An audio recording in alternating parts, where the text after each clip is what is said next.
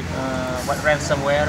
Ransomware is uh, a virus uh, that attack or cyber cyber attack that attack the government agency, for example, or important important websites to hold their website in ransom until until the ransom is paid.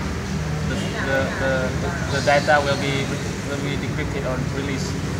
But uh, some of them are just try to to deceive people. Also, uh, although people, some people have paid ransom, but uh, the their data has, uh, will not be decrypted or released. I think uh, that is a very bad impact of social media.